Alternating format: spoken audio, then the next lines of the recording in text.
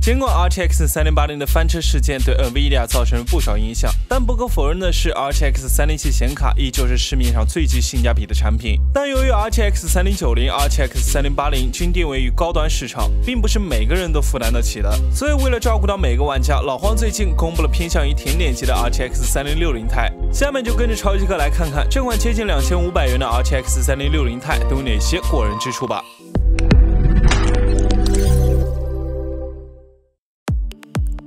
根据此前消息称，在规格方面，RTX 3060 Ti 将采用 GA 104 200 GPU，拥有四千八百六十四个 CUDA 核心。比 RTX 3070少了一千零二十四个，burst 的频率达到一千七百兆赫兹，RT 光追核心从四十六个减少到了三十八个，超量核心从一百八十四个减少到了一百五十二个，预计搭载二百五十六 bit 微宽的八 GB GDDR6 显存，频率为十四 Gbps，带宽为四百四十八 GB 每秒，而整卡的 TDP 功耗有望从二百二十瓦降低到一百八十瓦左右。在外观上面会延续 RTX 3070的整体设计，最多只会在 PCB 板、供电和用量等方面有所不同。至于价格，预计首发三百九十九美元，国内应该是两千五百元左右，基本和现在的 RTX 2060 Super 持平。此外，部分网友发现，NVIDIA 已经在欧亚经济委员会的产品网站中注册了 RTX 3060 Ti 这款产品，具体型号和编号分别为 RTX 3060 Ti 8GB Ares Master、RTX 3060 Ti 8GB Gaming OC、RTX 3060 Ti 8GB Eagle OC、RTX 3060 Ti 8GB Eagle，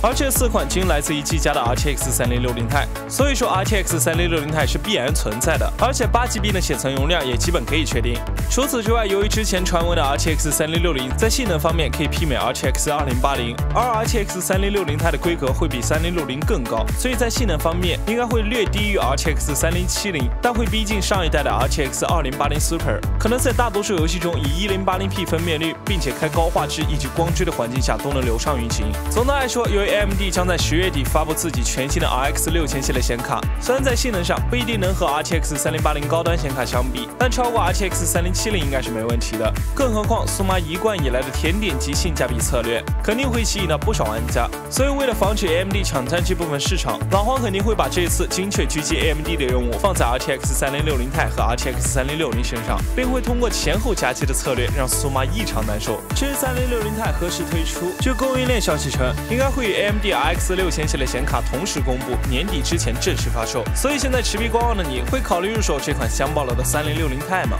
欢迎在评论区或者弹幕上留言哦。如果还有什么疑问，也可以提出。如果还想了解更多硬件相关的消息和科普知识，记得关注超级课。我们下期再见。